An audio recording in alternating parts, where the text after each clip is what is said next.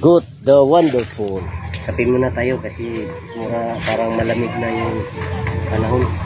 Samahan ko yung aking mga alagang hayop. Uy, Na si Good, the wonderful. higala. Oh, Nandito ka pala higala. oh Johnny Bravo. Uy, Upo ka dito. Ito, ito. nakas ko lang kumain yung kambing mo ng saging higala, no? Oo. So, ito yung asawa ni Good the Wonderful. Si Good the Wonderful, andun pa sa tulungan niya. Ah, ito naman yung bayaw niya. Magkapatid din sila. Oo.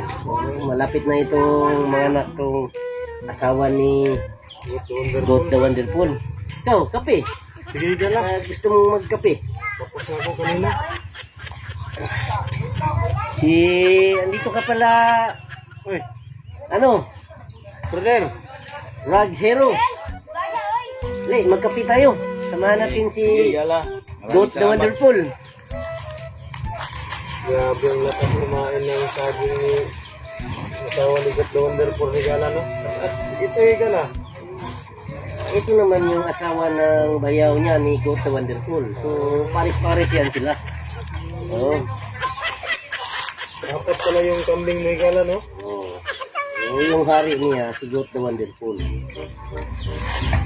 Oh, lakas lang kumain ng ng saging. Ito yung asawa ng bayaw niya. Ito naman yung asawa ni Goat the Wonderful.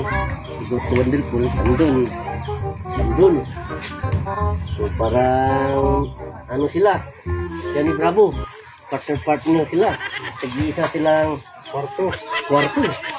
Paggabi, sigurado. Maganda yung kulungan mo